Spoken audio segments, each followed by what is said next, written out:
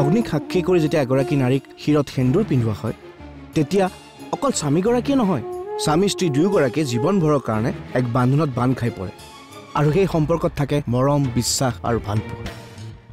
এইবোৰতো মই সকলোবোৰ পালন কৰিছোঁ তেনে মোৰ ভুল কোনখিনিত হ'ল আপুনি ভাগি নপৰিব সকলো ঠিক হৈ যাব। নাই একো ঠিক হৈ নাযায় সকলো শেষ হৈ গৈছে। এনেকুৱা লাগিছে যে নিহাৰিকাৰ দৃষ্টিত তেওঁ শিৰত থকা সেন্দুৰকণৰ মূল্য একেবাৰে নগণ্য। যাক যিকোনো মুহূৰ্ততে পানীৰে ধুৱাই বোৱাই পেলাব পাৰে। কিন্তু তুমি তেনেকুৱা নকৰিবা। যিজন পুৰুষে তোমাৰ শিৰত সেন্দুৰ পিন্ধাব সেইজন পুৰুষৰ মৰ্যাদা সদায় ৰাখিবা।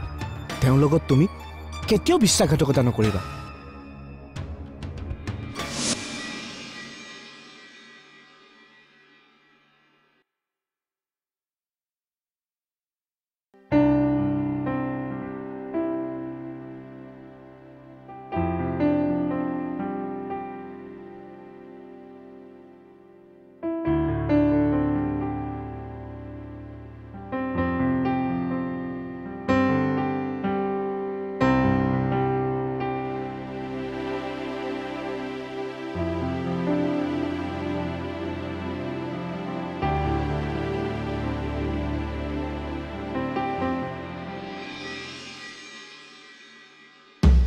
অ বালৈ ফোন এটা কৰ। নতুন ঘৰত থাকি কেনেকুৱা লাগিছে খবৰ এটা ল। কিবা অসুবিধা পালে ফোন কৰিব নহয়। তই বাৰু কি ভাব? ডাঙৰ বায়ে বাৰু ভিন্দক কথাবোৰ ক'লেনে সঁচাকে? কোনবোৰ কথা? বিয়াৰ আগত যে যিবোৰ হৈছিল সেয়া? অঁ। কৈছে কাৰণ তাই বহুত সাহসী ছোৱালী। আৰু মোৰ মতে তাই ভিন্দৰ আগত সকলোবোৰ কথা কৈ তাই নিজৰ জীৱনটো ধ্বংস কৰিবলৈ কেতিয়াও নিবিচাৰিব। মোৰ মতে কিন্তু তাই নাই কোৱা। কিয়?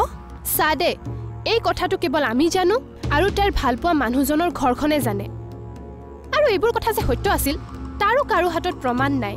অঁ যদি কথাবোৰ ৰাজহুৱা হ'লহেঁতেন তেতিয়া তাই নিশ্চয় ক'লেহেঁতেন। কাৰণ তেতিয়া ভিন্দৱে বাহিৰৰ মানুহৰ পৰা জনাৰ ভয় থাকিলহেঁতেন।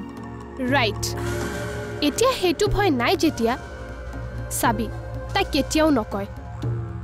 আৰু ইয়াৰে তাই পূৰা ফাইদা উঠাব। উঠালে উঠাব দে তাইৰ লাইফ তাই তাৰ লগত যি কৰে তাইৰ কথা। এতিয়া সেইবোৰ ভাবিবলৈ কোনো দৰকাৰ নাই।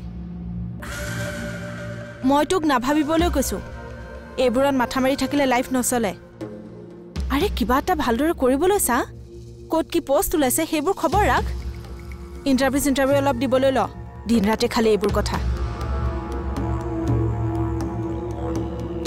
এইজনীয়ে ইণ্টাৰভিউ ইণ্টাৰভিউ বুলিয়ে মৰিব। দেখিছো নহয় নিজে কিমানটা ইণ্টাৰভিউ দি চাকৰি কৰি ফুলাইছ। ক'লে আকৌ মোকে বেয়া পাবি। তই যি কৰ কৰ। মই কিন্তু ইমান সোনকালে এইবোৰ এৰি দিলে আমালৈ একো নাথাকিবই দেখোন। লাষ্ট এণ্ডিং যদি এয়াই আছিল মই ইমান দিনে এইবোৰ কি কৰি আছিলোঁ?